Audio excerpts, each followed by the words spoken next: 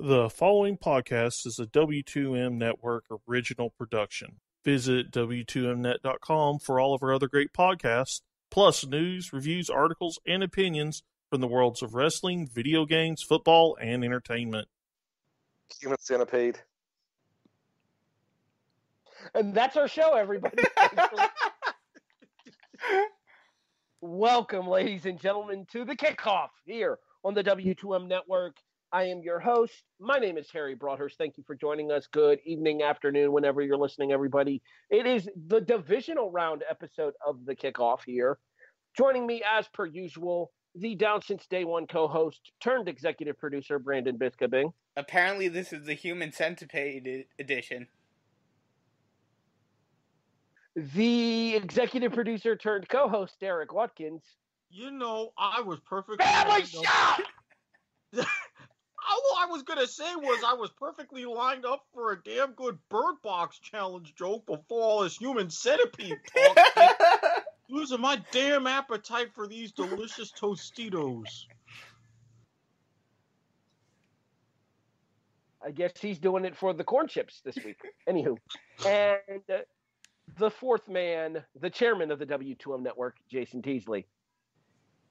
The head of the centipede has spoken.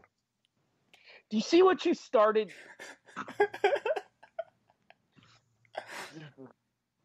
We're not going to have a network to come back to next year. well, that may actually be true. But that's a whole different story. Yeah. That's debatable. we may be sticking around. It's time for studs and duds. Erik, start us off.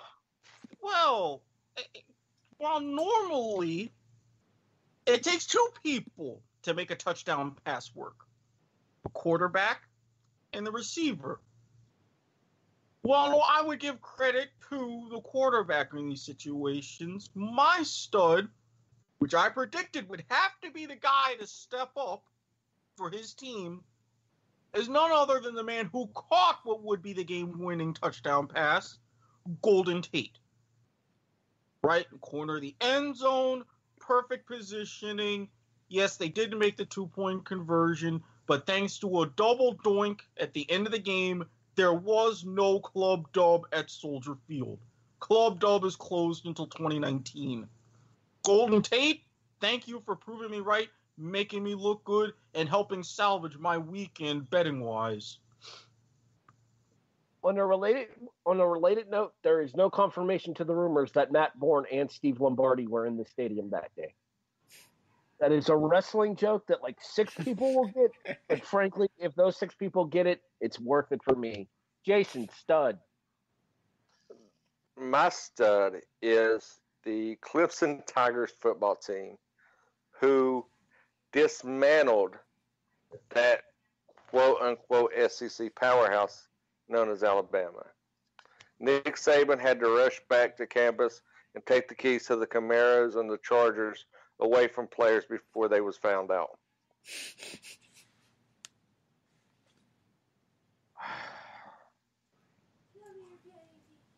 Brandon Stud. Clemson put an ass whooping on Bama. You cannot deny that. I am 100% not going to deny that, but I'm also not going to jump on board with this whole SEC is overrated bullshit that everybody keeps spitting No, out of no, I'm not. No, I'm, I'll, I'll give Alabama their props. Alabama was not overrated this year. They It- beat those Catholic schools to death. Like like I've said before, and I'll talk about this a lot more later on, but SEC is to football what the Big East is to ba- or at least the old Big East was to basketball. Enough said. Brandon Stud. My stud for the week is Marlon Mack. 184 yards, a touchdown. Normally in a regular season game, not the biggest of numbers, but he was definitely a big factor to the Colts win against the Texans this weekend in the wild card game. And a lot of people especially with the rumors going around that the Colts are looking at getting Le'Veon Bell and all of that. a lot of people were talking that this is a breakout game for Mack, and it is something that, hey, the te- the Colts don't necessarily need Bell at this point. Man, I wouldn't be touching Le'Veon Bell with a ten foot pole at this point. Oh, oh, neither would I. Thank you for finally coming to the side of reason, Harry. I've said all along I wouldn't want somebody like Bell on my team. If but you said, but you, but at the same time, you also said that there would be plenty of teams oh, that would be uh, looking at him. Allow me to preface what I just said there. There will be plenty of teams that will look at him. My team would not have been one of them. Oh yes, they would. Well, yeah, they would. You're missing my point, Brandon. If I, I were the general manager yes, for yes I would not be going after Le'Veon Bell because he's already proven that he has no commitment. Agreed. He has no dedication. His heart is not in football. His heart but, is in the money yeah, that comes but, from professional football. But that's what I've been saying all along is that the only teams that are going to actually look at him are the teams that do not have solid front offices. So basically, he's going to end up in Jacksonville. Hi, Erik. Yep. I was well, but they about... already have a good running back, so he's safe. No, no, we're not safe. I don't trust this front office's decisions. And if Marlon Mack having a return to form so good, Mark Morrison would be proud. Yeah, the Jaguars would easily handle Le'Veon Bell the keys to a Brinks truck and say, "Hey, you look good in black. Fournette's hurt. Come on down." All right, I'm gonna have to do this just because he brought it up here. And apologies to anybody's earbuds who I insult here. Oh, come on, yeah. Okay, I'm good. Uh, I want to break some news, uh, just simply because I can. Um, Arizona let go of Byron Leftwich he is now going to be the offense coordinator for the Bucs under Bruce Arians.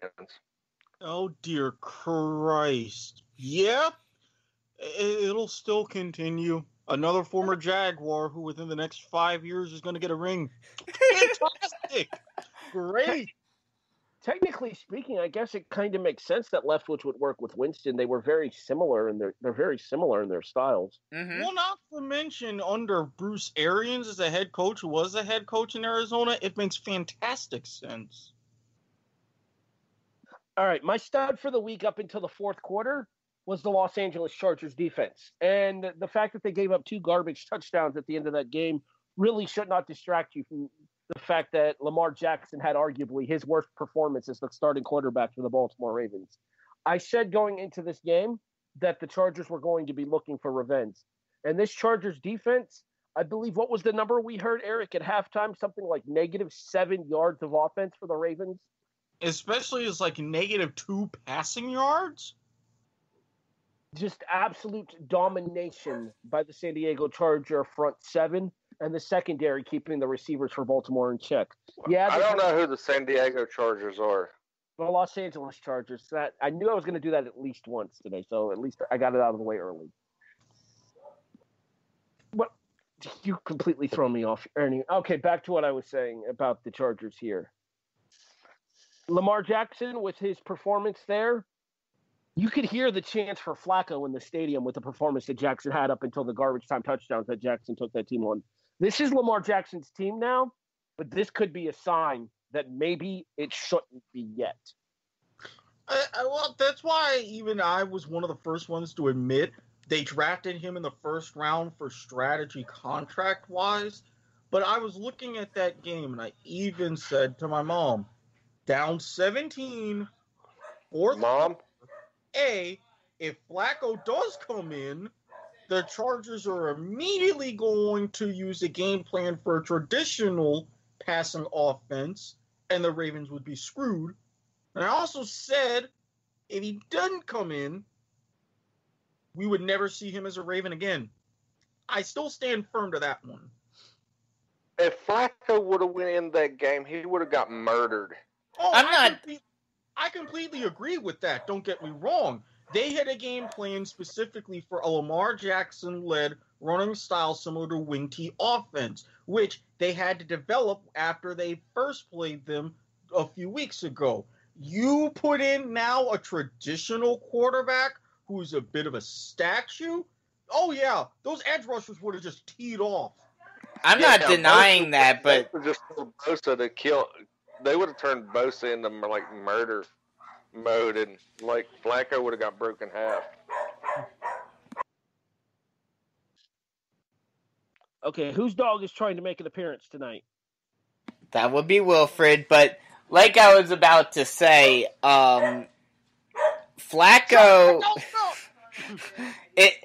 While I agree with you guys with Flacco, I think the issue, or not so much the issue, but the thing that I was very surprised about was that they didn't uh, go with Flacco at any point after they were getting absolutely slaughtered.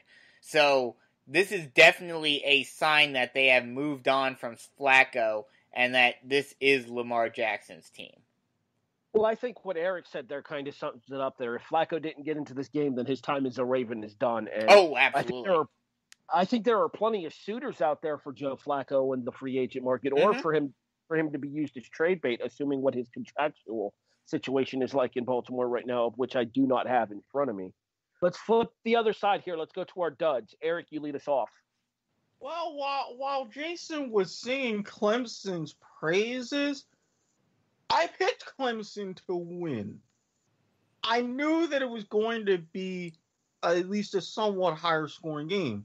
I kept saying throughout the first quarter, over betters are loving this. But um that Alabama defense, granted, not all 44 were at the hands of Trevor Lawrence, who executives in the NFL would be gushing and saying if he could come out right now, he would be the number one overall pick. But 44 is still 44. Did that defense even try after halftime? I mean, that was just pathetic. Never saw the likes of that before from any Nick Saban team. Fun story here, and I actually saw this on E ESPN after watching, after uh, seeing the highlights from the game and stuff. Did you know that Clemson handed Nick Saban his worst loss since Buffalo beat Miami by 21 in 2006? Mm-hmm. Yeah, I, I seen that. Never been, ne- and all of his time at Alabama, never been worse than 14. That's crazy. I saw that. I saw that on ESPN, and like it blew my mind. Mm-hmm. J- Jason Dud. Uh, to piggyback on Erik's dud, he went Alabama's defense. I'm going to go to the man that led Alabama's offense, Atua Matata, as I call him, who inexperience and immaturity showed uh, against a tough Clemson defense. Um, uh, he had he yardage wise, he did decent. He threw like 287 or something. But his yards yards were had dipped significantly significantly against a team that is not uh, headed by two blind mice. Uh, and he just made a lot of throws that were were basically highlight reel throws, as I'll call them. And he was trying to be a gunslinger when he wasn't. He forced a lot of passes, and that's why I think he's my dud. I think he's going to be a amazing pro when he comes out, but I still need, I think he still needs to face more premier defenses than he had this year. Two things. One, I assume this means you're no longer going to call him Maui Wowie. And two, imagine what the competition is going to be like with his brother coming in. Well, I want to kind of touch on something here as well with the fact that Jalen. Apparently, there are rumors going around that Jalen Hurts has officially entered the transfer pool. So it's it's going to be Tagovailoa's team going forward. There, I don't think that they're going to start his brother, even though the rumors are his brother's even better than he is. That being said, I think a loss like this actually helps T- Tagovailoa in the long run because he had yet to experience defeat as a college quarterback, and this gives him an opportunity to have to learn what it's like to come back from something where, let's be frankly honest here, Clemson kicked Alabama's ass on Monday night. Well, he just lives up to his moniker, Akuna Matata. Ah, okay, so If side I note. see him come out holding the lion cub, I'm done. Okay, so side note here, just because this pissed me off. Have you guys ever actually seen the translated lyrics for that song? no. no. There goes a lion. Oh yes, it's a lion. Are you freaking kidding me? All that and that, that. Well, I mean, if you think about it, sometimes you can't peek behind the curtain. That's like everybody loved Gangnam Style. Horse dance, crazy South Korean celebrity appearances, and everything. But if you actually listen to the lyrics and you translate them, it is extremely subversive and takes all kinds of shots at the South Korean 1%. That's why I love it, but not everybody's me. I feel violated having that information in my head now. Brandon, God. Um, and I will preface this by saying, yes, I know they they changed it to a block and everything. Um, and I'm not gonna put all the blame on him, but Jake Elliott and the remainder. Kicker. What? Elliott kicks for the Eagles. Cody Cody kicks for the Chicago Bears. Who was it? Cody Just because Parkey. it's what it's good. Co- oh, Cody Parkey, correct. I, I don't is the kicker for the Eagles. Yes, you're They're right. advancing. You're you're right. You're right. So Cody Parkey and the rest of the Bears offensive line and and the rest of the Bears special teams for completely botching this and thus allowing the Eagles to block it and have it sail wide to the left. Eh, incorrect again. Actually, it was. We can blame Pepsi. Why? Nah, did you see the edited video with uh, Parkey's miss edited into it? It's pretty funny. Oh God, no! I have not seen that yet. I think that's what Jason's referring to, and it's pretty funny. And again, Yes. if someone hadn't mentioned the human centipede, that would have been part of my Bird Box Challenge joke for my intro. Yeah. Family show. Anywho, But yes, so it's a it, it's game on the line, and you completely botch it. Yes, I know it's hard to do. Yes, I know. I don't know if you guys saw Goose Island co- basically come to his defense and say, you know, we're gonna set up a pair of goalposts, and anyone can come and try to make this kick, and you know, if they get it, free beer for a year. Um, but yeah, you're a pro NFL kicker. This is one that should be makeable. see, I'm going to actually go the opposite route here, and I'm going to give credit to uh, Doug Pederson for using the ice the kicker strategy and successfully. Oh no, pull- that that's definitely a warranted strategy that works sometimes. Well, well I must, uh, for one bright side, I do give Cody Parkey some credit. He finally completed the game of three bar. because it was the opposite. For those playing along at home, Cody Parkey was my dud earlier in the season for doinking four different kicks off the right upright in a game against the Lions earlier this season. Altogether, six doinks. A couple off the left upright, one off the right upright, and then this one, not to outdo himself, left upright and crossbar. Oh god, it's even worse than the Survivor Series. Harry? What what was really funny was the announcers showing the YouTube videos of Parkey back when he was in high school, and he would go out to random places and find poles and kick and hit the poles in the open parking lot. And they had just showed that right before he missed the kick. Hashtag foreshadowing. Maybe maybe he should have been focusing on kicking away from the poles instead of kicking towards it. Maybe that's his that was his problem. But then if that happened, then we would have been denied the Spanish call. Have you ever heard two Latino men Oh, sing God. Chicago on Oh. live on the air? It's a very beautiful thing. Oh God, I could only imagine. And and by the way, Harry, I'm very disappointed at I'm very disappointed at you no selling my uh, Doink reference there. Oh, that was a four doink. That was doinks on a mission, I believe. Yeah, I know. I said it's even worse than Survivor Series where there were four Doinks because now there are six. Well, technically speaking, there were four doinks at two different. Never mind. Moving on. My stud for the week are college football playoff fans. Because between Alabama storming out 28 nothing on Oklahoma, Clemson bitch slapping Notre Dame, and then Clemson absolutely dropping a hammer on uh, Alabama in the championship game, you got a grand total of zero games worth watching in this year's college football playoff. Congratulations, guys.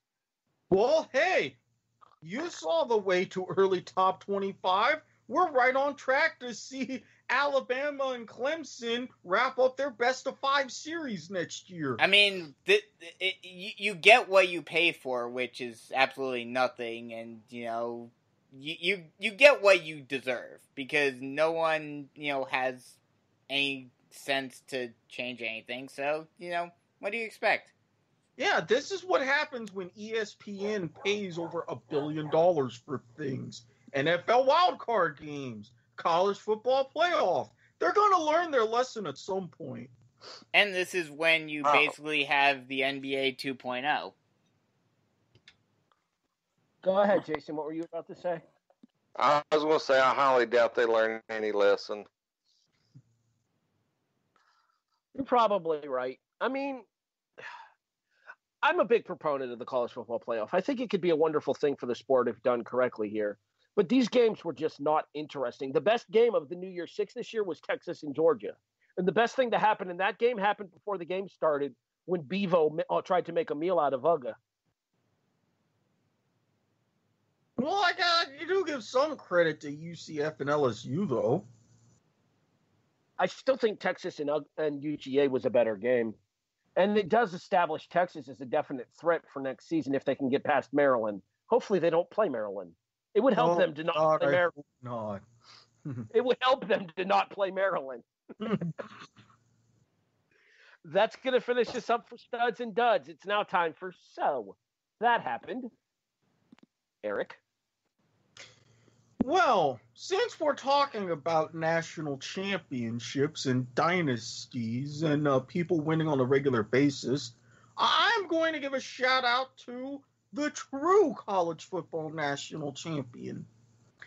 You see, the North Dakota State University Bison, their fans said originally when they made the move up from Division Two to the FCS, they wouldn't see a playoff of any kind for a good 30 years.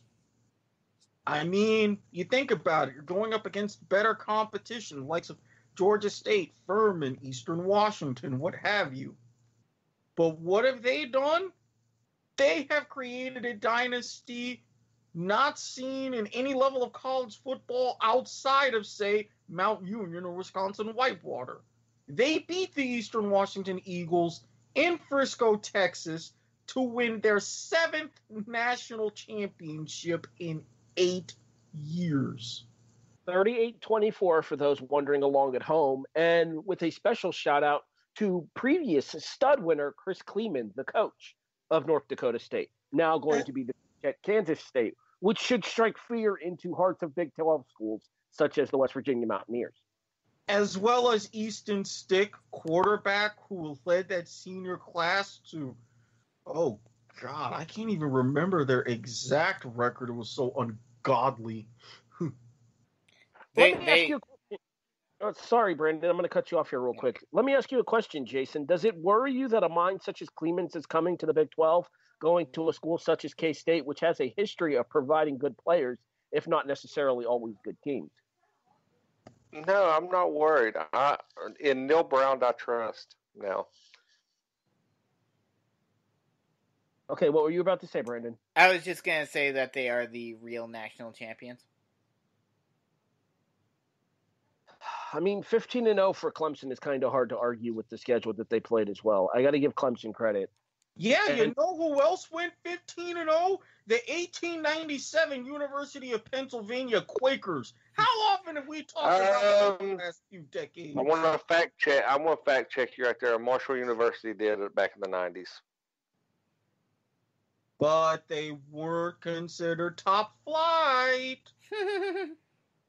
Well, I guess technically they would have been uh, at uh, Division One AA at the time as it was known.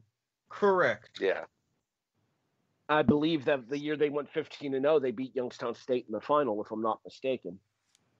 yeah, because they played Youngstown State and for the championship like four years in a row. I felt like Yeah. the Buffalo, like the Buffalo Bills in the championship, hmm. because you always see Youngstown State and Marshall playing. Yeah, but the difference is, is Youngstown State actually won a couple of those, whereas, well, we all know the story in Buffalo. Let's not drag up history. the All right, Four back- Falls. Which is still a damn good documentary. And I forgive you, Scott Norton. Jason, so that happened. So that happened. The one, um, do y'all know anything about anatomy? Do y'all know that your ankle is supposed to be pointing the Oh, same way as your God. Oh, Oh, Well, that was painful. Allen Hurns learned that his ankle can also point the opposite direction when he suffered one of the most horrific ankle injuries I've ever seen at any sporting event.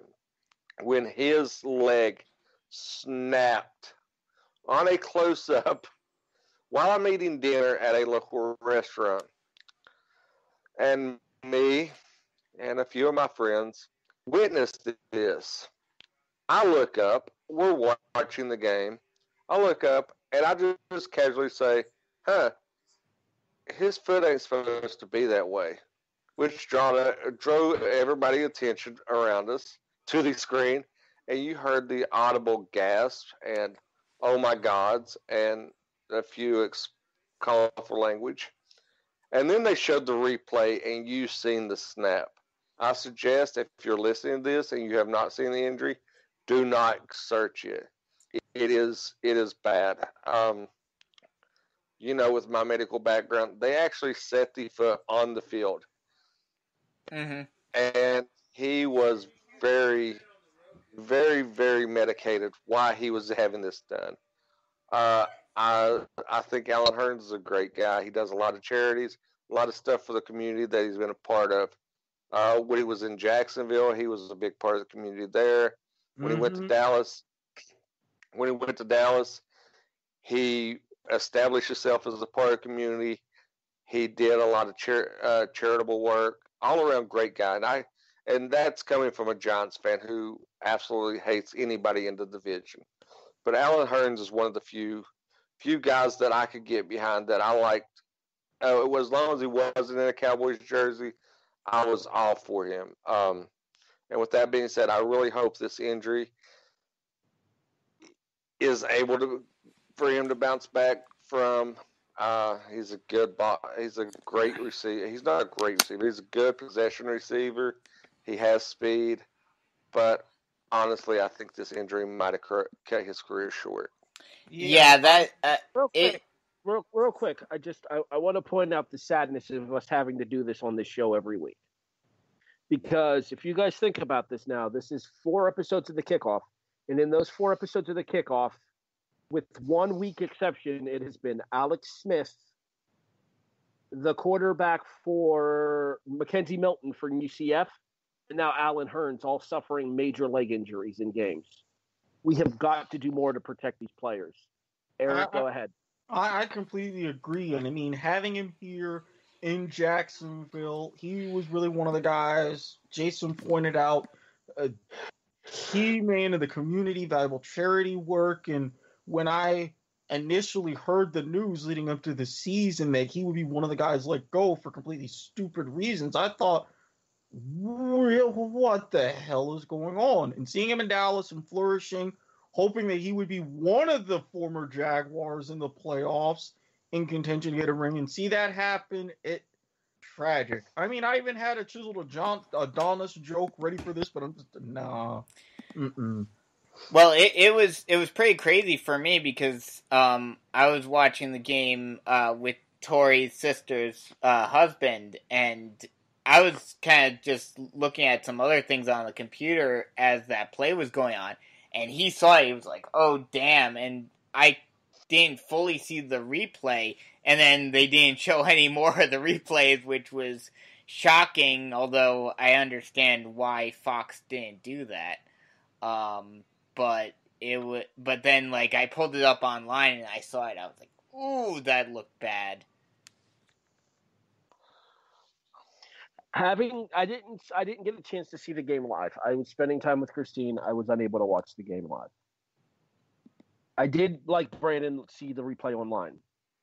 I'm not somebody who upsets easily. I'm not somebody who gets offended by clips like that. Mm-hmm. As a wrestling fan, I've seen stuff similar. We've to that seen game. plenty bad. Uh, Psycho Sid at WCW Sin 2001 comes to mind immediately. I remember seeing that the very first time, and even I gagged a little bit. Mm-hmm. Just to, uh, as as you could see the replay, you could actually see like part of his bone sticking out of his skin. Yeah, Mhm. I, I I looked at that and all I could just say was "ow," very loud at my phone. on a bright uh, on a bright side from everything that I've seen, it was a I mean I guess what people call a clean break, and Okay. it was easily repaired. Well, that's On good for behalf- him. On behalf of everybody here at the kickoff, not that he'll ever hear this, we'd like to send our well wishes for a speedy recovery to Allen Hurns. Mm-hmm. And if Allen Hurns wants and does listen to this, you can tweet us. We'll be happy to oblige. We'll say hi to you. All right, Brandon, sit- you're up. Since get well card. or something. So my uh so that happened this week is away from the NFL field and into a uh a compet well I guess you could call them a pe- competitor to an extent even though it's different season. Brad Chil- Childress, who was supposed to be the head coach for the Atlanta Legends this season, going uh, of the AAF, uh, going into this upcoming inaugural season for them, decides to leave a little over a month, or a little under a month, the season is supposed to start. Um, this is very interesting because, as Harry's going to talk about shortly, um, the coaching carousel is in full swing now in the NFL does this necessarily does this potentially mean that Brad Childress is getting offers from NFL teams and if so and even if not so it is a it is definitely not a good sign for the AAF going into their inaugural season if they're losing one of their I dare say one of their top coaches going into the season before the season even starts. Erik? Ah, for that one, I think it is a bit of a bad look, and I hope it's because that Childress is getting legitimate offers. But I would spin that into a positive if I'm the AAF, especially the Atlanta Legends, because number one, that shows a more legitimacy and the power of their head coaches. The fact that some of them are still getting these NFL offers, and number two, let Michael Vick take over more of the offense from a coaching standpoint. That you get a little extra built-in PR right there in your favor heading towards the beginning of the season. So there's good that can come out of this if they do it right. I, See, I, worry. I worry about the flip side of this, though, that it might not necessarily be because of anything related to the NFL, but it might be more of a personal situation for Childress here, and what kind of stress that this new league launching, this new scheduling, and everything about having to basically start teams from scratch is going to do to these coaching staff. Uh, I mean, I can understand that to an extent, but you know, I don't know if that's really the. I, I don't know if that would be the reason because you would think, you know, yes, you have to build a brand new team and all of that, but you would think that there's just as much pressure in the NFL. Not not to mention the fact that you were doing this because they've only been making these coaching announcements over the past few months, anyways. And it's actually easier to build an AAF staff because of the rules and gameplay of how it's going to be. There's less concentration on certain aspects of the game. I mean, you don't even have kickoffs, period, so you don't have to worry about a, you know, kicker other than for field goals. Exactly. Issues But- with the play clock, things like that. Mhm. So you're building in a different style, anyways. And I'm and gonna go ahead. go ahead, Brandon. Um, I was just gonna say the one thing um I'll say about what Erik said is I kind of disagree with you on the level if he is getting offers from the NFL. I think of it very much in a wrestling uh, mindset of, you know, the NFL, while they may not necessarily think, oh, they're a competition or anything like that, some of the NFL teams may be thinking, not only can we get a good coach, but we can also hurt the AAF in the process. Jason, you haven't had a chance to say anything here. You got any thoughts on this? No, I mean I've not learned anything about it because my shift at Buffalo Wild Wings has not permitted me to follow the story as closely as I'd like. This besides that, that there's too much focus on Atlantic City and that part of the world. So yeah. the views and opinions of Jason T. Okay, so let's talk coaching carousel, shall we? Let's do it. My so that happened is the fact that we have now filled four of the head coaching vacancies in the NFL and are in potential talks to fill a fifth as well. Let's break them down. The Cleveland Browns are going to be hiring Brad Kitchens to replace Gregg Williams. I thought isn't his name Freddie Kitchens? Oh, Freddie Kitchens. Yeah, I Yeah. pulled a Brandon. Sorry, my bad. Uh, my my ESPN article closed on me, and I don't know why. So now I have to find it again. So, calling for anyway. Let's talk about some of the other ones too. We'll get back to the uh, Cleveland situation here. Um, Vic Fangio getting a head coaching job in the NFL. I want to get your guys' thoughts on that. There, I believe Fangio's going to Arizona.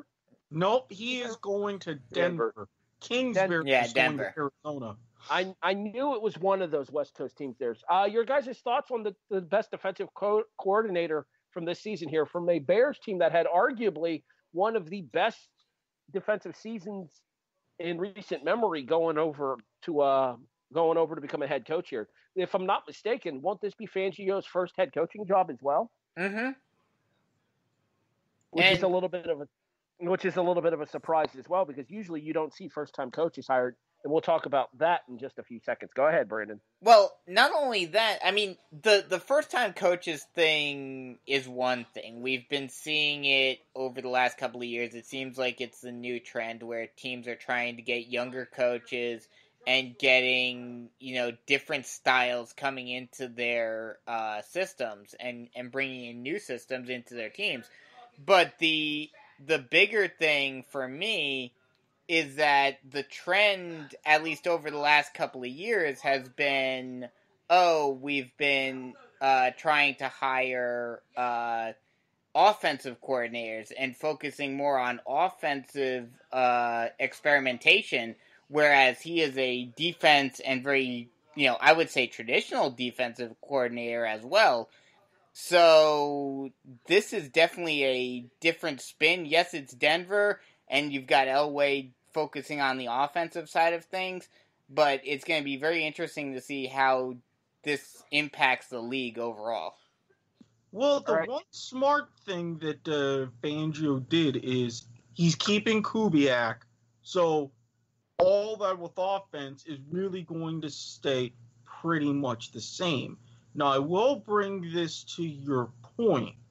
If they're going ahead and they're focusing on strengthening this defense and keeping the offense the same, what is Elway going to do with Case Keenum? How many more years is he going to keep him around? How quick is he going to potentially try and draft another quarterback? See, that was kind of going to be my thought on this year is if Fangio's taking over there, how long does Case Keenum still have a job in Denver? Because I'm willing to bet, based on the disappointing performance that Keenum had this year, coming off of the big money contract that he got coming from Minnesota last year, I don't think it's going to be very long at all. Uh, March 1st. What's their draft pick? Um, like eight set, like uh, I know they're ahead of Buffalo because Buffalo beat them straight up, and Buffalo picks like ninth. So I'm guessing probably like sixth or seventh. Giants are six, so they're they'd probably seventh or eighth. I just don't know how many uh, quarterbacks are going to be available. Well, I mean, if you look at it, there's not very many quarterback needy teams No. in the top five.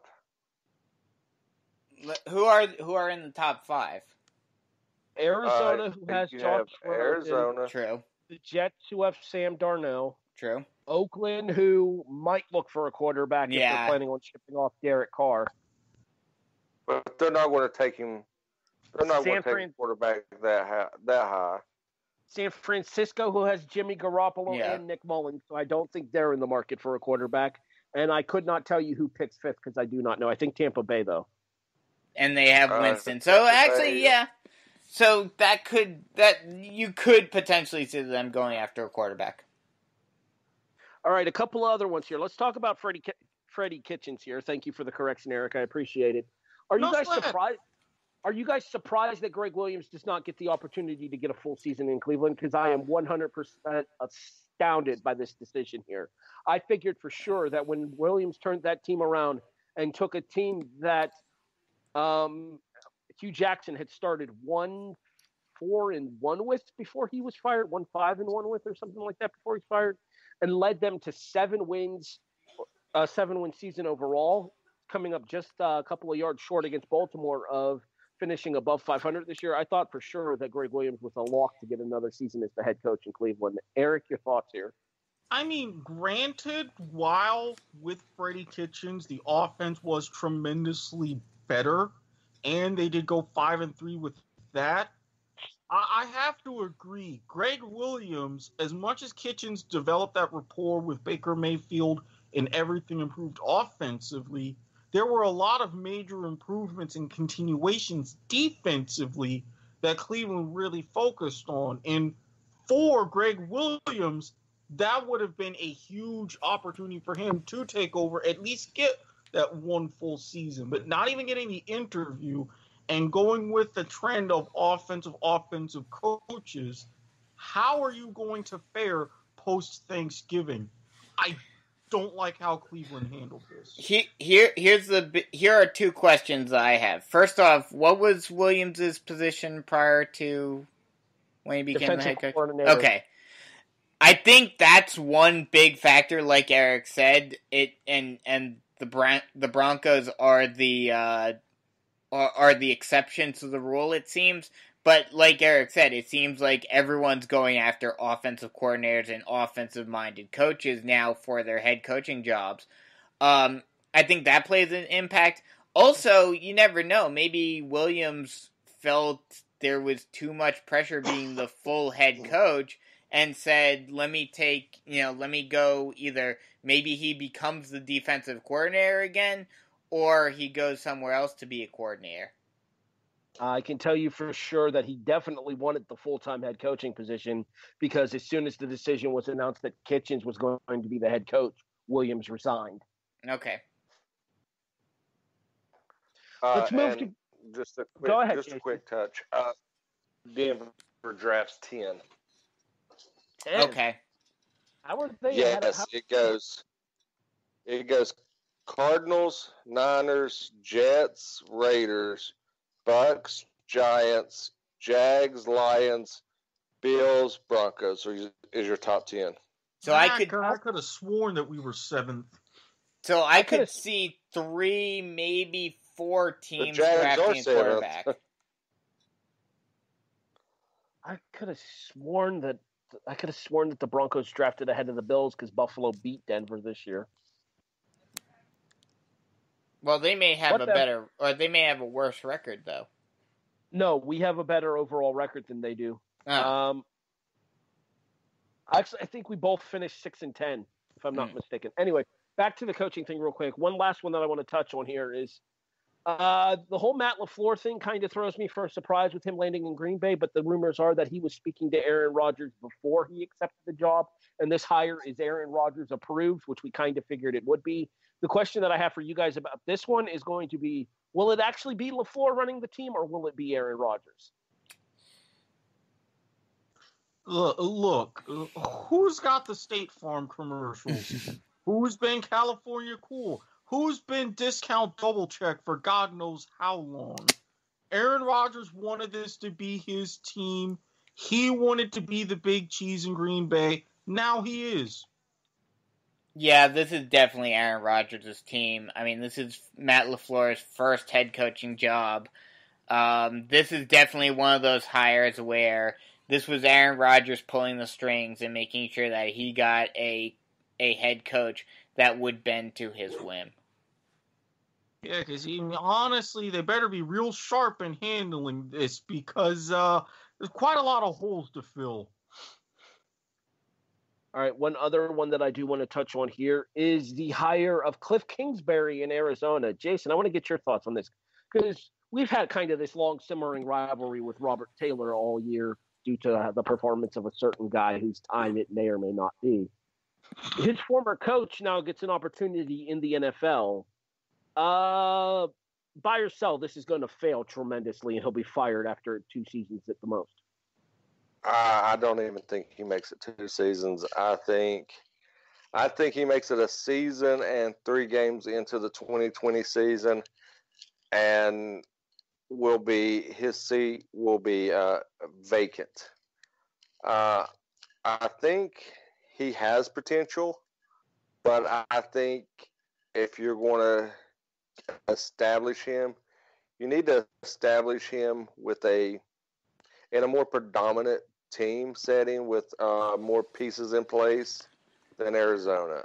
Um, yeah, they have they have a franchise quarterback. They have a solid running back, but they're losing their the face of the franchise receiver after this year, either retirement or free, or he just leaves Phoenix.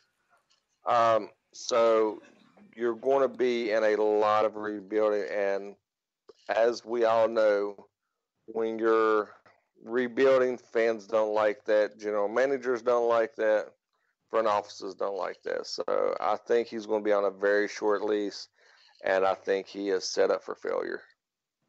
All right, real quick, I'll get Erik and Brandon's answer to to this as well, and then we'll move on.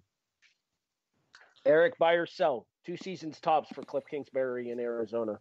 I'm gonna buy, and I'm not even gonna give him three games into 2020. I'm gonna give him this one season with that certain quarterback, the whose name you did not mention, whose time might be coming on Saturday again.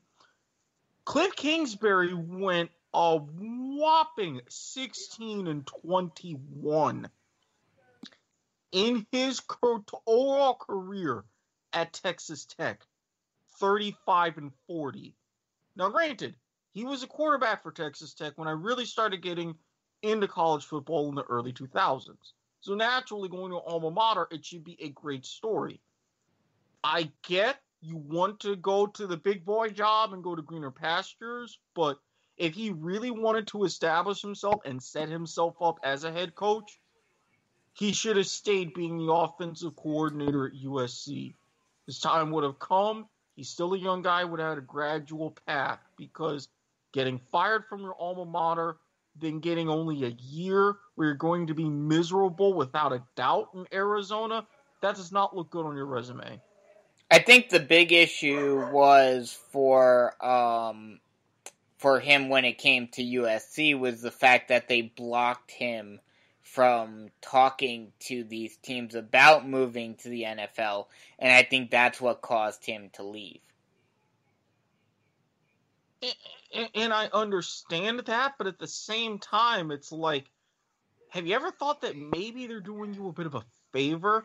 Because for all we know, they blocked him from talking to the NFL, which, yeah, that gets in your craw. But at the same time, who's to say they didn't offer him, from what I've heard, this potential, hey, you stick around a year or two, though the words coach and waiting mean anything to you? Come on now.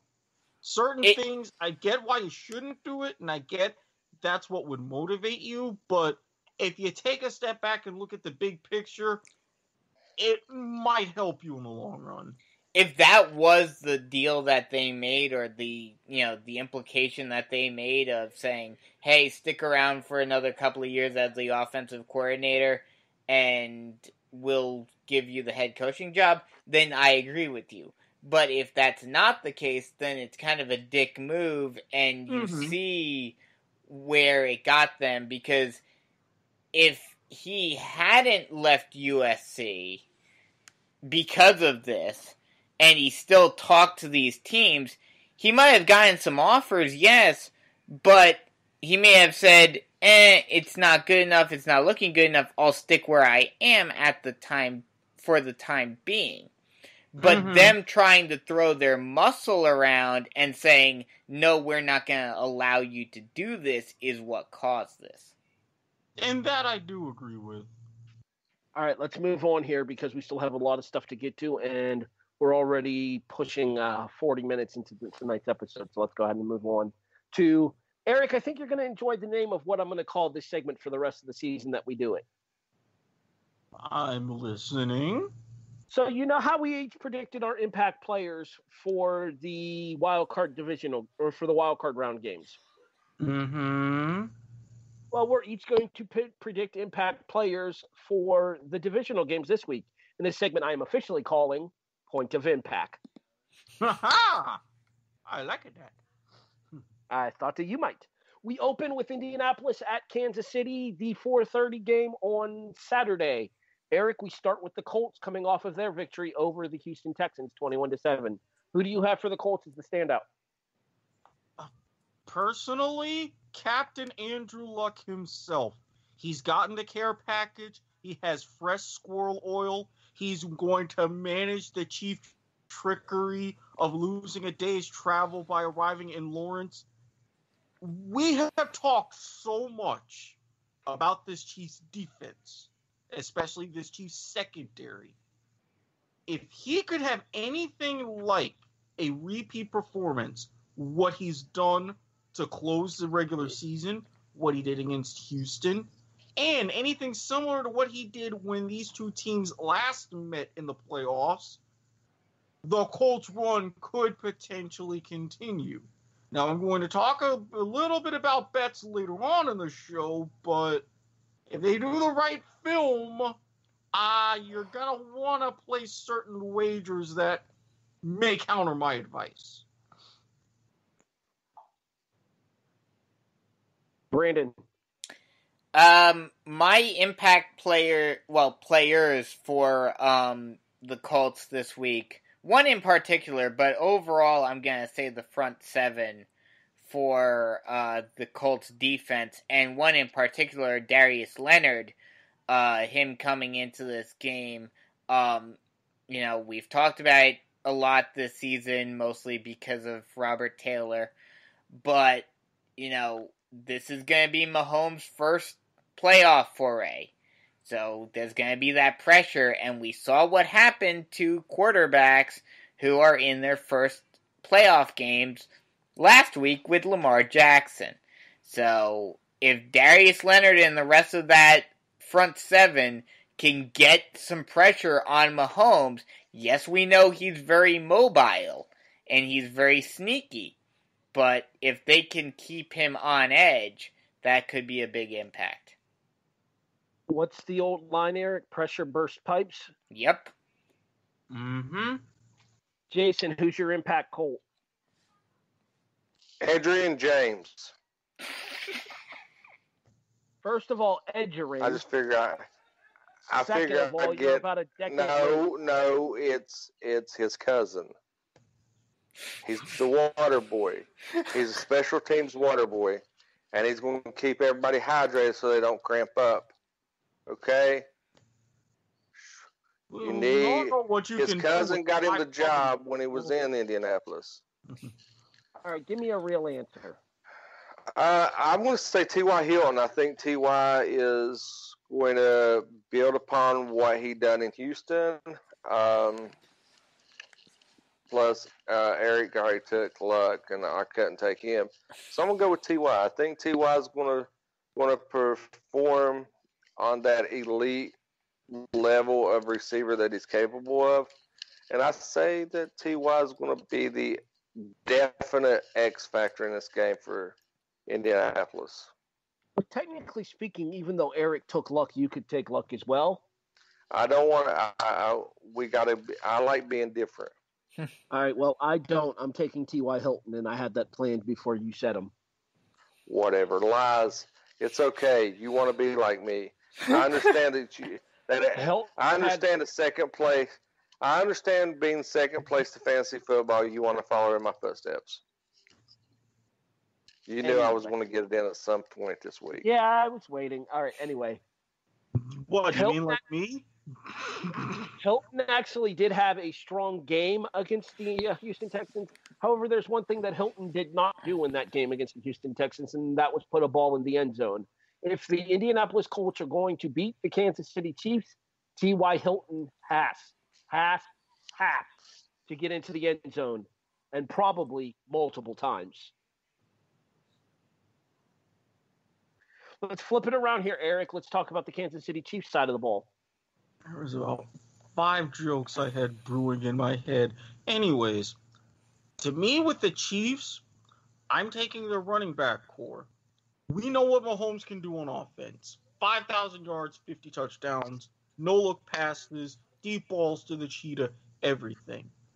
But like going up against Darius Leonard in this front seven, you have to back them off and really keep them honest. So it is up to that crew slow the tempo down just a little bit. Account for the weather, make things easier on Mahomes, especially early. Get him into the flow of the game so that way, even come the second quarter, he can go ahead and start balling out. But they have to establish that ground game first and foremost right now. I trust Andy Reid to do that, but it's up to those running backs to execute. Uh, uh, normally, Brandon would go next here. However, I just want to say for the record that before Erik even went there, I had already written down on my whiteboard D. Dot Williams, Damien Williams, running back Kansas City is my impact player. See, as the host, Harry, you need to make some executive decisions and go first every once in a while. all, all, all I'm going to say, hey, Erik, Harry's going to Bisco. I yeah. knew that was coming. I knew that was coming as soon as he opened his mouth. Brandon, who, who's your impact player for the Chiefs? Hey, uh, hey, uh, hey, Harry, guess what time it is? Oh. At least he didn't pick a quarterback for Indianapolis. Fair. Do, do, do you know what time it is, Harry? I don't know what time it is. My watch is broken. Er- Erik, shall we? I'm, I'm pretty sure it's Mahomes' time. That is correct. Well, one would hope. Um, but yeah, Patrick Mahomes, like I mentioned when I was talking about the front seven for uh, Indianapolis, this is his first playoff game. And like we talked about before, a little honorable mention. I know it's not a player, but, you know, honorable mention to Andy Reid as well because, you know, we all know how Andy Reid does in playoff situations.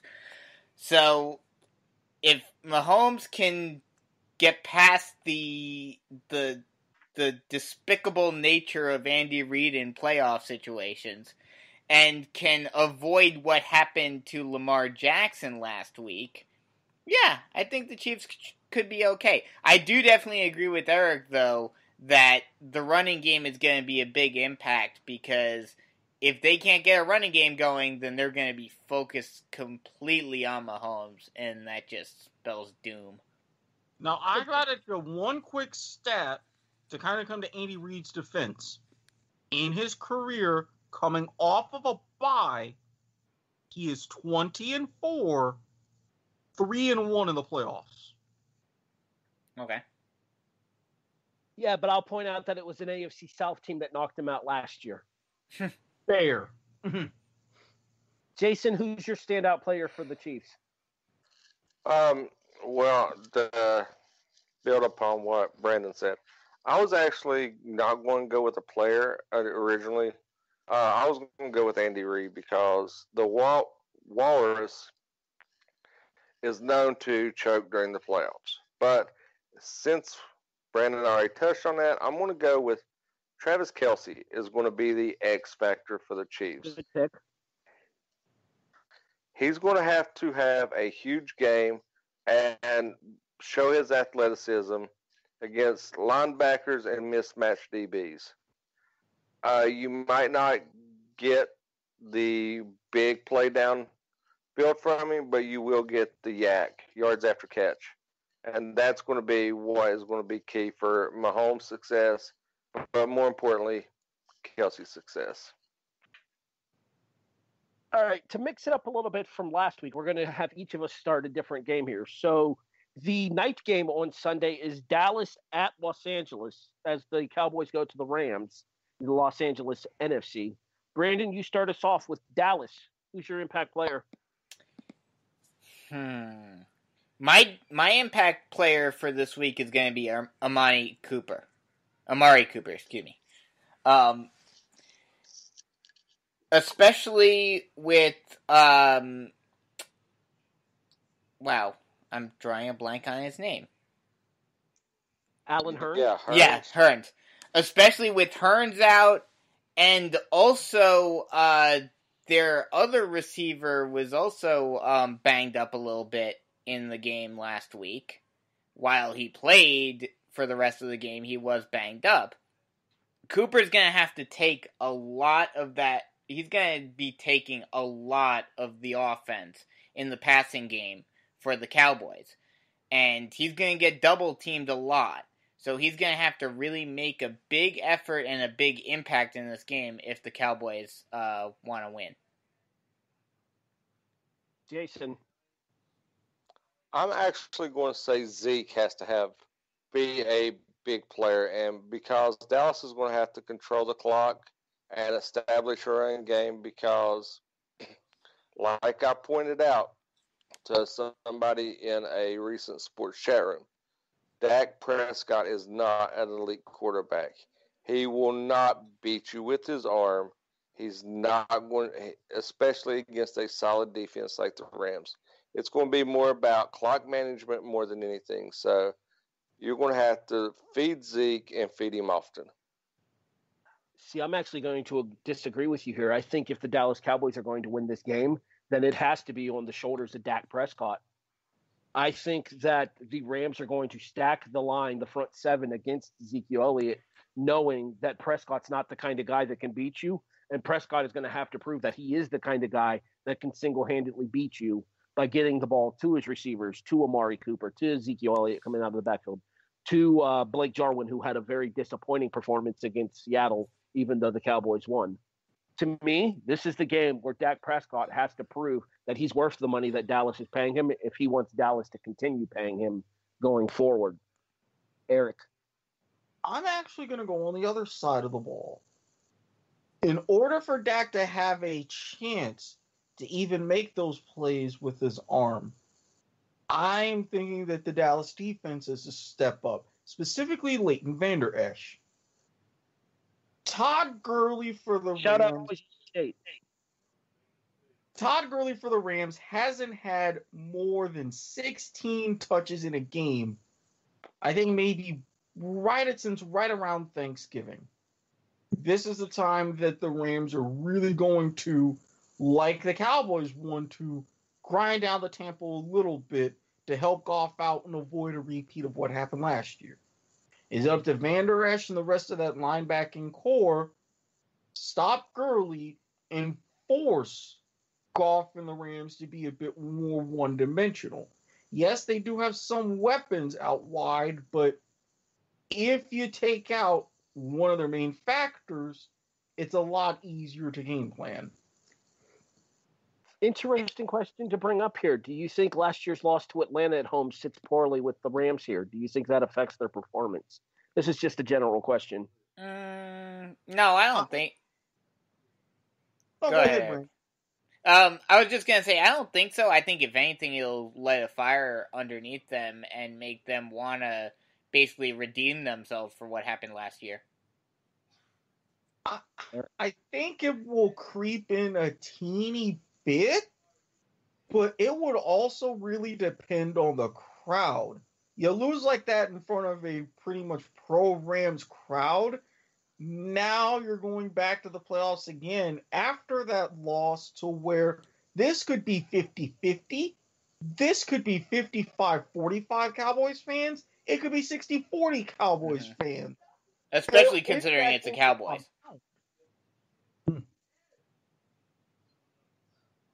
The Cowboys are a team that traditionally travel well, so I think that I think that if this game gets away from Los Angeles early, it could be a very long day for the Rams. Not And to mention. those- Go ahead, Erik. Go ahead. Oh, I was just gonna say, combine that with the fact they spend their time in training camp in Oxnard. Well, I, what I was also going to say was Los Angeles, prior to just a couple of years ago, didn't have a football team. And Los Angeles is a very trendy city. So, America's team being, you know, the bandwagoners team, I'm sure there are a lot of bandwagon Cowboys fans still in the area. So that Mhm. will also play an impact. Plus, even without the football team, Los Angeles was a Rams town in the Rams' heyday back in the 50s and 60s. Ever since the 80s, even after they left, you could argue that LA is more of a Raiders town, especially when the Rams moved south to play in Anaheim in the early 90s. All right, let's move over to the other side of the football here, Brandon. Who has to stand out for the Rams in order to prevent what happened to Atlanta last year happening again? I, I, I have to go with Todd Gurley. You know the um, the wide receiver corps isn't hundred percent for the uh, for the Rams. Uh, Goff is going to be under a lot of pressure. Gurley's going to have to take that pressure off of him. Jason. I'm actually going to say Jared Goff. Uh, they're going to try to stop Gurley, and Goff's going to have to beat people with his arm. I'm going to go with Sean McVay. Hmm. I think that Sean McVay's play calling has to be to the point that they don't allow themselves to get put into a position like they did against Atlanta last year, where the Falcons were able to take that home field advantage away from the Rams. I think that McVay has to have his offense strike early and strike often and get these pro Cowboys fans out of this game in order to keep his Rams team concentrated and motivated to move forward towards being potentially at home, depending on what happens in the Philadelphia New Orleans game, or possibly going to the Superdome for the NFC Championship game the following Sunday. Erik? I'm going to go with one of those Rams wide receivers, Robert Woods.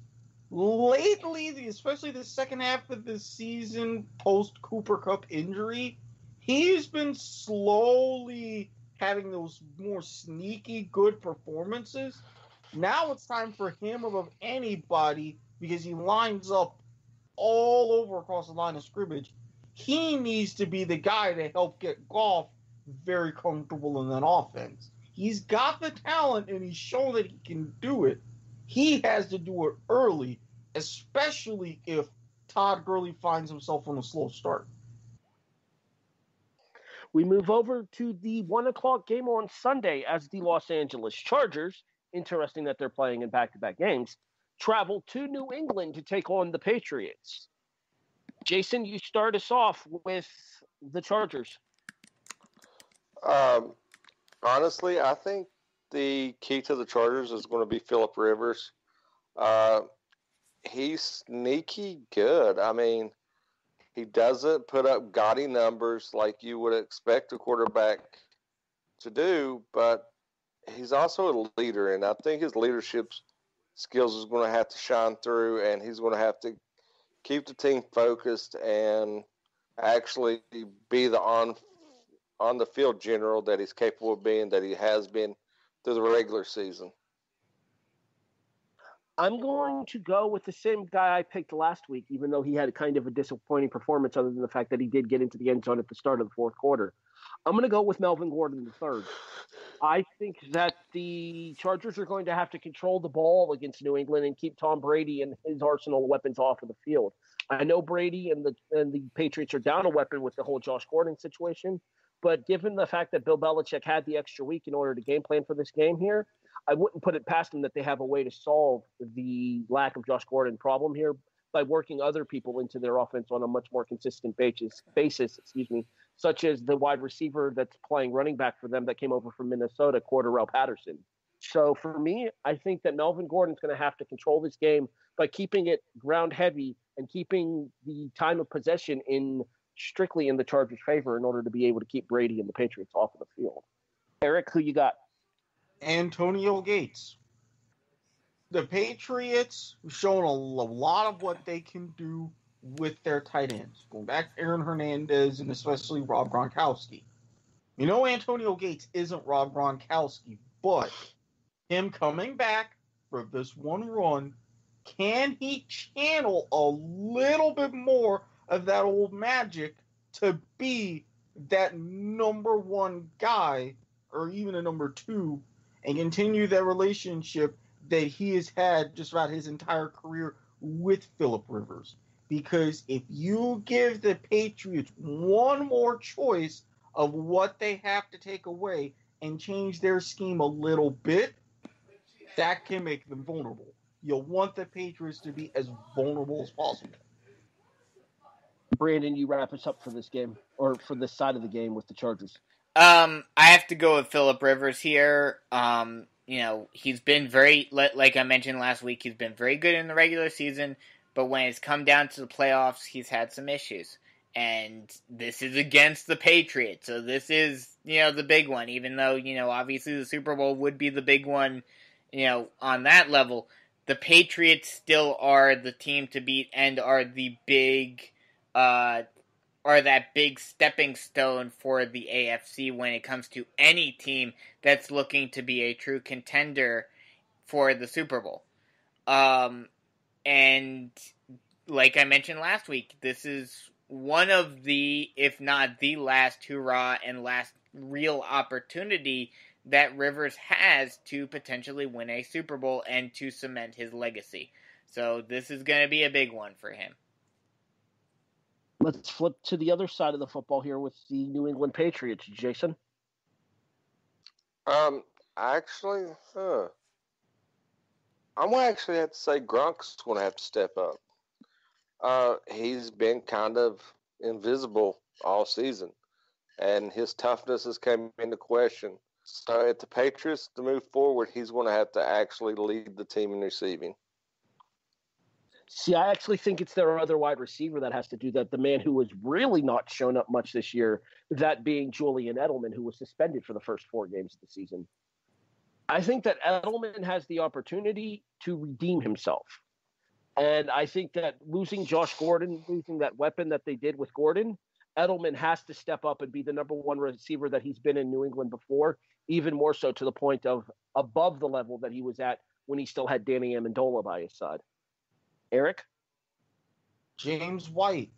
If you don't want guys like Joey Bosa being able to just sit back and try to tee off, knowing the weaknesses that they have at wide receiver, White's got to have a good game on the ground. And as I believe it was Jason who said, time of possession, run game, grind the game down to a halt. How do you do that? Yards on the ground if White can get those yards, it makes it an easier day for Brady. I'm gonna R- real quick. That was me that mentioned the controlling the ground, but your point is oh, validated. My bad. Hmm. Brandon, go ahead. I- I'm gonna basically combine all three of yours into one and add a person as well. It's it's got to be the entire receiving corps and the the one guy, if I had to choose one guy that, you know, while he may not have the greatest game in the world, He may not get a ton of targets, but if he can be a threat in the passing game and thus take some pressure away from other guys and take away the pressure from Brady as a whole, it would help the Patriots offense a lot, and that's Chris Hogan. Interesting fact here. Four of us went, none of us took Brady. I had a chance to look back on ESPN.com over the course of the last couple of days. Did you know that this is Tom Brady's worst statistical season of his career? That Huh. he did not finish. He did not finish in the top five in any category.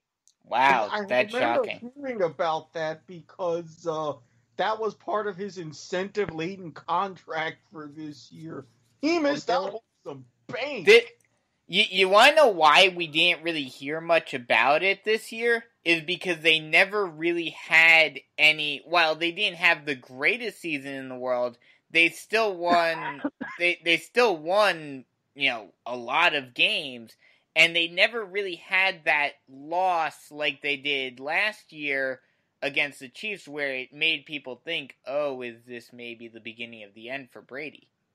Eh, you could say possibly the game against the Jaguars.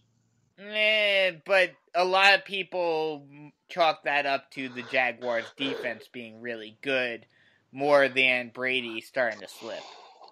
True. Yeah, But I mean, you said yourself, 10 consecutive division titles. Hasn't been done in the major 4 Mhm. pro sports since the Braves. 16 consecutive 10 win seasons. That hasn't been done since the Niners in the 80s and 90s. And oh, by the way, the ninth straight year where he's earned a bye. Mm-hmm. If this is business as usual. Yep. 11 and 5, this is what we expect from them. Let's go to our final game. It is Sunday on Fox at 425. BDN and the Philadelphia Eagles travel to the Superdome to take on the New Orleans Saints. I go first here. I'm actually going to go with the guy that Brandon mistakenly named earlier in the show. I think this is going to be a really close game, much the same way the Chicago game was. To me, this game very realistically could come down to the foot of Jake Elliott. I'm picking Elliott as my potential impact player here. Erik?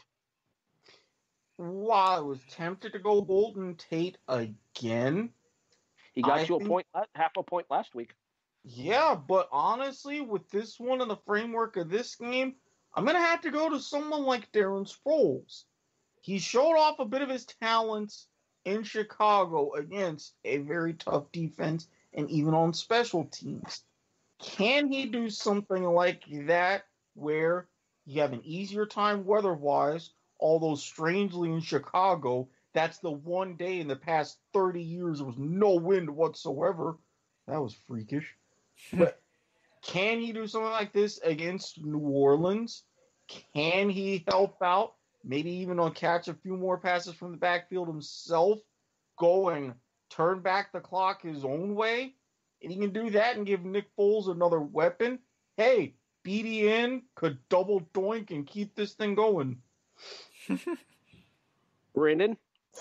Um, I I have to go with who I picked last week again. The the storyline is going to be going on throughout this postseason for as long as the Eagles are in it. Can Big Dick Nick do it again? And he's got to show that last year wasn't just a fluke.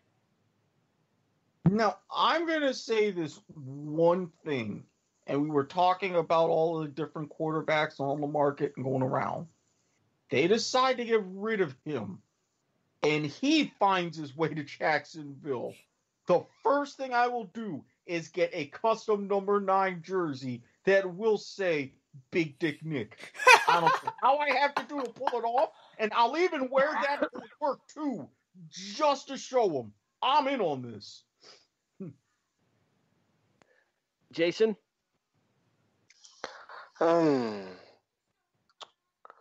Philadelphia. I'm going to say Alshon Jeffery.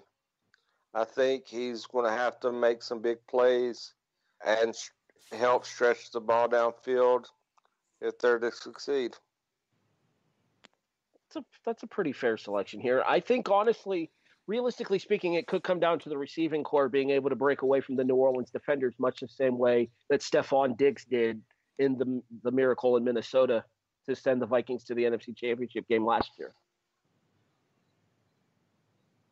Let's flip over to the other side of the ball here with the New Orleans Saints. And to me, this one isn't in question. Uh, you can say what you want. Uh, we've had some people on our network call him Captain Checkdown, but in my opinion, he is at this point the best quarterback in the NFL. This is Drew Brees' team to lead, and this is Drew Brees' team that I would trust more than anybody else running the ship if I had an NFL franchise. If you gave me one quarterback to start an NFL franchise with, I would want Drew Brees. I would trust Drew Brees to lead my team through any situation. I'm taking Brees as my impact player. Erik? Michael Thomas. NFL record 320. Hmm? Are you sure you don't want Michael Williams? I'm positive this time. You sure? I'm, I'm Michael Michael Williams is available to pick up. Mistake again. Sorry, we, we've we've all screwed up at least once tonight. I just thought it would be funny to throw something back. Go ahead and talk about Michael Thomas, Williams Thomas. Very true, and trust me, I actually made that mistake earlier today in a fantasy draft. Oh God.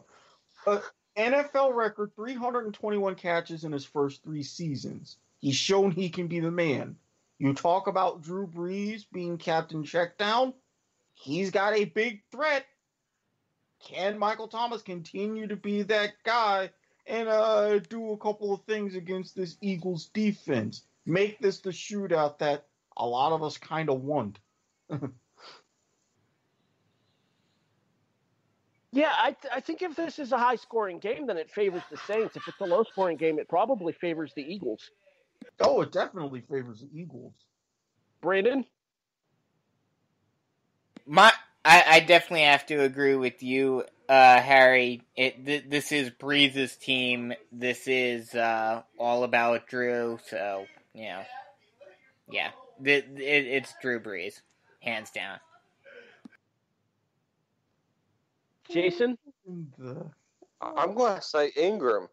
Ingram's going to have to be the X factor in this one because everybody else is going to be keyed out on, and he's going to be able to run between the tackles like he needs to be, wear help wear down the defense, and possibly get short yardage to keep drives rolling.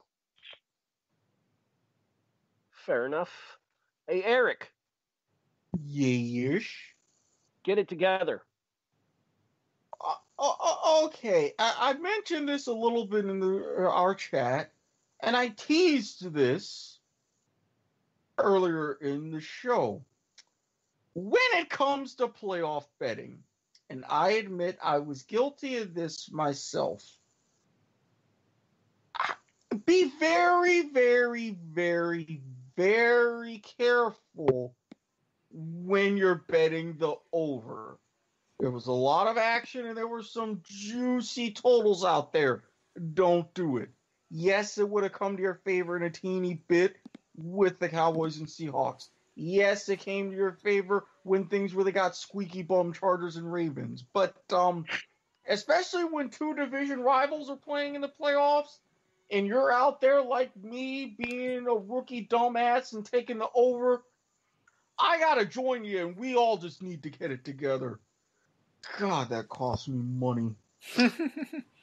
on the plus side, you were one of only two of us on this panel that did take the Colts to win that game, though. That's why I got the Chargers and the Colts money line as a parlay that helped me break even on the weekend. I was very relieved. Jason, get it together. Get it together as the officiating crew from the Eagles and Bears game that, at hindsight, actually cost the Bear that Bears that game on the Anthony Miller catch and fumble that they blew dead when nobody went to recover the ball. That would have set up a easy score or at least a chip shot for Chicago that would have predominantly led to them winning the game. The uh, the other mentions for my Bird Box challenge joke. Oh, just hmm. I don't know what a bird box challenge is, and something tells me I don't want to know. Google, Twitter, Netflix. This is one of that percentage of times where it is safe for work. Notice that he has to disclaimer that on the show. Yeah, really. all you need to know about Erik's life. Look, how many you know how many softballs you had were putting it in places and balls and stretching down the field? I was like, there were 45 seconds of solid gold in my head, especially with shenanigans that I have planned for this. Family show! Apologies to those listening via headphones. Brandon, get it together. My get it together is college football just in general. Yes, I've talked about it a lot over the last couple of years, but and this isn't even yes, ideally you expand the playoffs. But even if you're not going to do that simple thing, some of the top teams need to get better. This is getting ridiculous. This is getting to to NBA levels of boredom. Well, it's even worse than the NBA. But I hate. I don't even understand how anyone can watch the same thing every single year. It, it, it's it, you know that whole saying, death, taxes, and whatever. It, there are three things that are guaranteed in life right now: death, taxes, and Alabama Clemson in the na- in the quote unquote national championship. Well, technically, they met in the semifinal last year, but I get your point. Yeah, I- I've heard some ideas being thrown around or at least discussed to where if you make the playoff, you get a reduction in scholarships for the next year. So I'm just counting down again. 2023 is only four years away. TV contract renewal. And if E ESPN crunches the numbers and they find out they're losing money, you expect that time frame to close pretty damn quick. All right, let me ask you one quick question here, Brandon, because Okay. I know you're kind of the voice of the voiceless when it comes to the group of five on this show. Cult of personality. I, I sung Return of the Mack earlier, so I got no room to talk. Anyway, uh, UCF has a chance to make a statement very early next season. Stanford comes to Orlando. What happens if Stanford comes to Orlando and beats the Golden Knights? then then they beat the Golden Knights. That you know, but that's that's my point that I've tried to make. While yes, I would prefer it to be a situation where teams actually get opportunities to make the playoffs.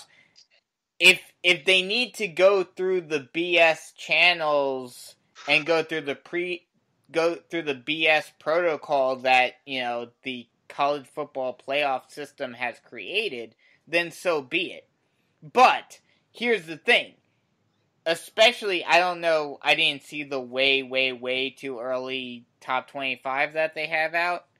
But depending upon where Stanford is ranked at that time. What?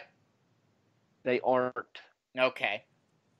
But let's say they are at that point when they play. And let's say they're ranked highly. I doubt it because Stanford hasn't been nearly as good over the last couple of years. They're not at the levels of when uh, when Christian McCaffrey was there or when Andrew Luck was there. But if they can beat Stanford and they proceed to go undefeated, then there can't be any BS excuse of, oh, they didn't play anyone or uh, strength of schedule or what have you.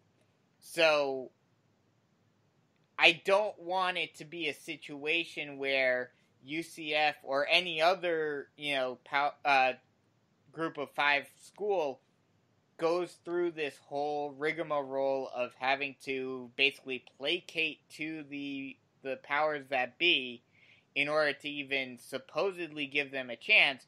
But then if they do manage to beat said powerhouses, they still get snubbed because of their name.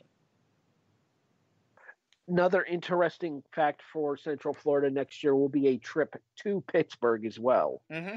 See, So, so, they're starting. They're starting to get to bigger games. hmm and that's the thing. Well, but that's the other issue, and I understand with you know, well, uh, not really because you know it it takes just as much time to plan it, and I would think it would actually be simpler to plan travel for a weekly basis rather than you know two maybe two or even three days in a week. But I want college football to implement the same sort of situation, the same sort of scheduling as they have in college basketball, where it's not that you have to make these games year a, a whole class in advance, which basically makes the proposition of saying, "Oh, I'm going to schedule this team because they're good right now and they should help me," completely moot because by the point that they actually play them five years after the fact, things could be completely changed on so many different levels. So it should be a year by year scheduling situation. So I, I kind of intrigued uh, Erik with mine, so I'm going to go ahead and get mine over with, and then we can get to our Are You Serious predictions for the divisional round. My get it together is Drake, not the school out of Illinois or Missouri. Missouri, I think. I think Missouri. Yeah, I think you're right. Is it Missouri or Nebraska? No, it's either Missouri or Illinois. I'm pretty sure. I don't think it's Nebraska. I think it's Missouri. Anyway, not the school, but the singer. Kentucky Wildcats. Uh, struggling this season, bounced early from the NCAA tournament last year. Toronto Raptors lost game six to the Cleveland Cavaliers last year. Conor McGregor got knocked out by Khal- Khalid, um, what's his name? Khabib N- Nurmagomedov. Khabib. Thank you. Yes. That's what I was thinking of. Gesundheit. Alabama Crimson Tide got rolled by Clemson in the national championship game on Monday. Is there any chance we could find a way to get Drake photo- photographed wearing a Tom Brady jersey? Please. Please. Yes. And by the way, we were all wrong. It's in uh, Des Moines, Iowa. Oh, okay. Iowa. Don't, don't they know nothing good comes from Iowa? I'd apologize to our listeners in Iowa, but the only listeners we have in Iowa are the cornfields. Hey, The- the- now, I mean, wait, no, different cornfield. She's in North Dakota. Never mind. I There- There's only one good thing that ever came out of a cornfield in Iowa. Is that where Field of Dreams was filmed? Yes, it was. I kind of thought that's where you were going with that, and yes, I highly agree. That movie is mandatory. I, viewing I've actually been there. mandatory Yeah, and I'm viewing. finally before- glad that both farms are now or have been under one owner for some time because that was a point of contention for a while. Gentlemen, for the next to next to last time of the year, I have a question for you. Yes. Are you serious? All What? right, so we kind of delayed it last week. I should have done this last week. Your winner and regular season champion, Brandon Biskobing. Huzzah! Brandon goes 13 and 21 straight up. I go 12 and 22. Son of a bitch. Erik and Jason tie at 5 and 29. hey man, silver must be your color, Harry. Granted, I can't call, but Brandon goes 20 and 14 against the spread. I go 17, 16 and 1. Thank you to the tie in the Georgia. uh, What which one was it? Georgia. Oh no, Houston. It was a NFL game. Houston was a seven point favorite. I had them as my lock, and they pushed. Jason goes 16 and 18. Erik goes 12 and 22. In an ironic twist, the current postseason Are You Serious leader is Erik. Erik at 3 and 1. I show up when it counts. I'm like Nick Foles. I was just about to say he shows up when it really matters. Erik went 3 and 1 straight up, 2 and 2 against the spread. Brandon went 2 and 2 straight up, 3 and 1 against the spread. Me Wait, and how Jason does wait? How does that work? That Um, um, because Seattle lost, but they covered. Uh oh, okay.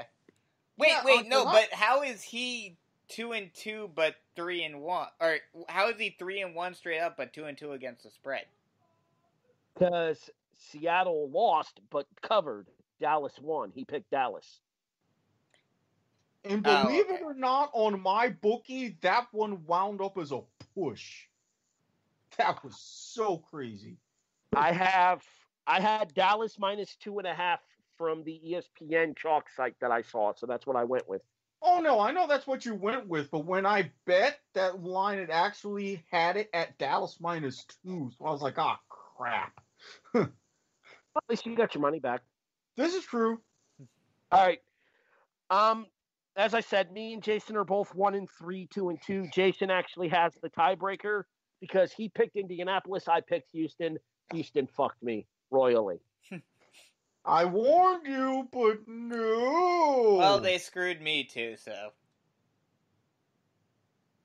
Yeah, that was your only that was your only uh, ATS loss, Brandon. yeah, I know. Which you know, STBY, homie, sucks to be you.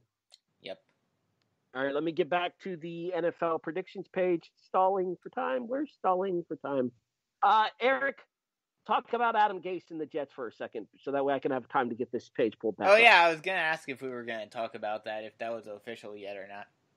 Uh, personally, I would have preferred had they gone with Mike McCarthy. Oddly enough, I mean, Adam Gase, yeah, he was doing okay things with Ryan Tannehill, but at some point he hit really hit a wall in Miami. That's why he's gone. I have a feeling, especially now that Todd Bowles has gone south, he's really going to hit a wall with Sam Darnold and that Jets offense. I don't see this panning out too well in New York. I think this was a mistake. The the big question now, uh, and and Harry just brought it up. Now with a lot of the doors closing, where does Mike McCarthy land? I think Mike McCarthy lands as a commentator next year.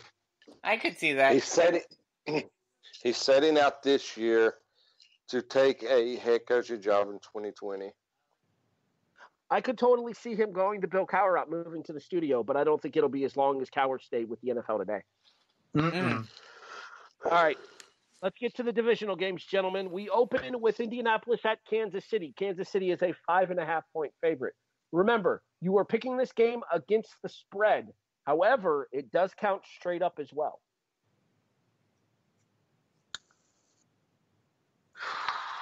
Brandon, you started us off. Okay. Um. I'm very wary about this pick just because, you know, uh, with how well they've been playing, I have a bad feeling I may be wrong on this. But in Mahomes, I trust Kansas City. Erik. I am so nervous about this pick. I am very nervous about that line because what scares me predictions for that line were between four and five and a half. It opened at five and a half. It has not moved. That bugs me a bit. I want, want to take Kansas City, especially for the reasons I mentioned with Andy Reid. However, I think the Colts at best they could pull off the upset, but I really see them covering in this situation. Jason. So Erik's official pick is Indianapolis. Mm-hmm. I'm taking the hot team, Indianapolis Colts. So we all saw that I had kind of a crappy start to my Saturday games last week. I went 0 2 on Saturday. I'm hoping my Saturday predictions continue to be p- crap. I'm picking Kansas City. Wait, so you're basically in the reverse boat that I'm in. So I'm you, hoping. So you want to be on the island just so you could shut Robert Taylor up. Yes, I want the juju of picking Kansas City, having Indianapolis win, and officially getting rid of Mahomes' time once and for all this season. GFR, KC, GFR. Do you know what GFR stands for, Erik? I'm pretty sure you do. I heard GDFR, but God, see, and I almost set myself up for another D joke. I really need to stop talking. do, do any of you guys know what GFR stands for? I'm not Good sure. Good. Oh, okay, there we go. The Saturday eight o'clock game is Fox Dallas at the Rams. The Rams are laying seven. Brandon.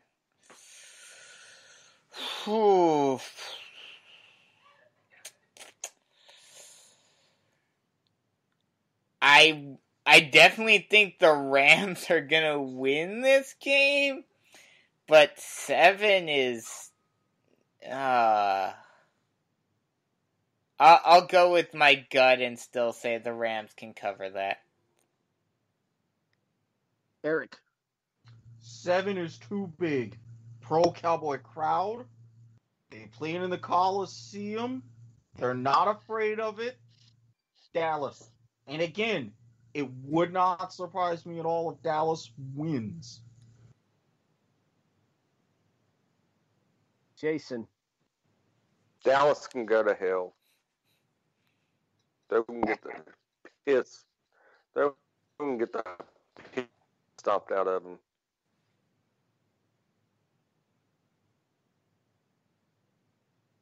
Okay.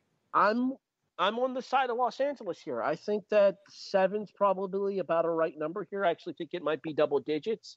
I'm going to say 12 officially. I'm going to go with 28 16 and a Rams victory.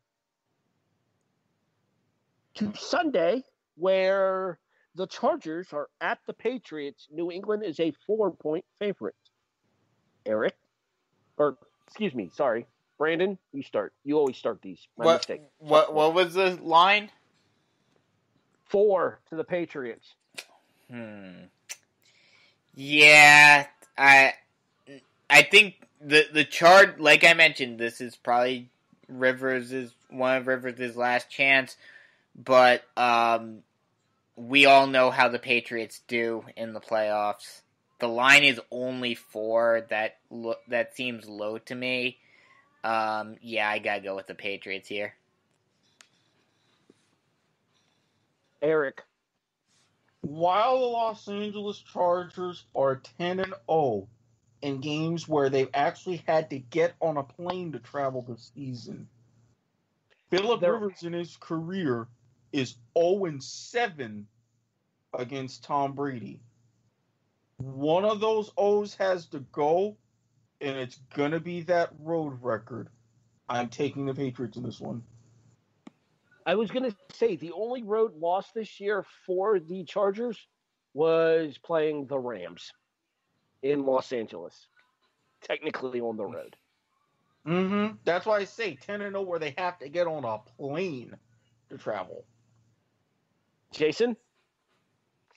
I'm going to take the Chargers, led by Philip Rivers. I think the Patriots are done. I'm taking the New England Patriots to. Can't believe I'm about to say these words. At least two scores. It's a West Coast team coming over to the East Coast for a 1 p.m. start. I don't see it. Mm-hmm. I'm taking I'm taking the Patriots. to be fair to that, and I think they talked about it on the broadcast last week um, during one of the games. Um, I think because it's the playoffs, I think um, the Chargers traveled early and they've got their clocks more synced up.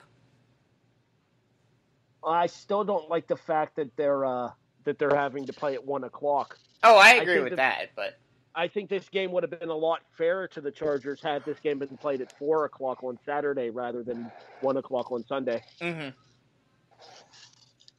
The final game that we will predict this week is Philadelphia heading to New Orleans in the Superdome. It is eight points to the favor of the Saints, Brandon. Um, while I know the Saints are going to be looking to get, you know, back into the Super Bowl and everything, do I think the Eagles will win? Maybe, maybe not, but I definitely think it'll be closer than eight. I'm going with the Eagles. Erik. The Eagles specifically said they got together with Doug Pederson and basically said, burn the tape from the last time these two teams tangled the Superdome. Also, Drew Brees is the only quarterback to beat Nick Foles in the postseason. That game was in the Superdome. Even though they are laying eight, I think with the inefficiencies they had through most of the game in Chicago, I like New Orleans' chances a lot more. Drew Brees as Jesus will resurrect with a little voodoo help in Nolans. Jason. Give me the Saints. Care to expand upon that or just taking the Saints? I'm barely awake right now. All right, well then let's go ahead and wrap this up here so that way Jason can go to bed. Too much time spent watching the I'm. I'm pretty sure. I'm, I'm pretty sure that I fell asleep like three times during this show. You may have. I did hear snoring a little bit ago. It might have been you. No, I've I've had my mic muted every time I fell asleep. Well, that's good. Uh, I'm in the same boat as Brandon on this one, and I hate to say that, but literally the exact same boat. Saints win. Fal- or excuse me, not Falcon.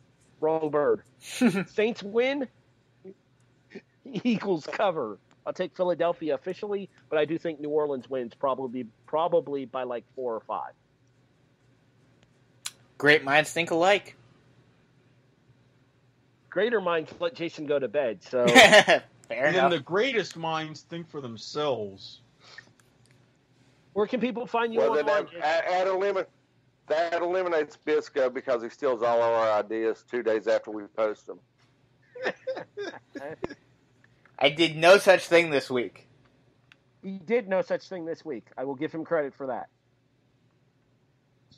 Jason, where can people find find you online? In my bed asleep, they can find me, they can find me taking naps because I'm 40 and I'm a man. But if you ever want to tweet me, it's at turkeyglue822 on Twitter. I'm pretty sure I'll offend you at some point.